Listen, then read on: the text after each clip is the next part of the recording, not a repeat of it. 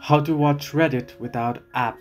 Hello everybody. Welcome back to my channel. This is me Bipin Basant and today i'll guide you in how you can log or you can watch or how you can open reddit without the application. Now the process itself is quite simple and easy so let me guide you through.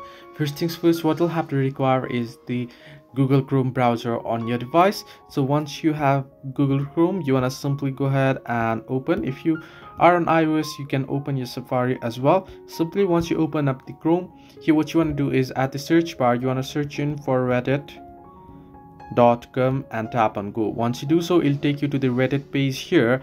Now here once it loads up you can see you'll get at the bottom two different options. If you have reddit app it'll ask you to open reddit app and you can see the chrome.